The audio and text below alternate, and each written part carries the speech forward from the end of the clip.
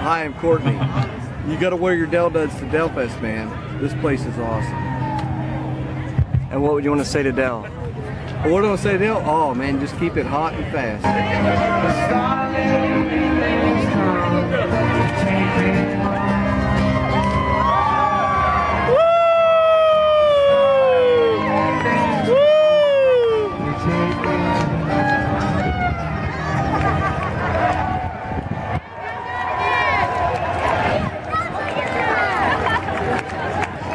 Hey man, would you say your first name and where you're from? Bobby, Bobby. Where are you from, Bobby?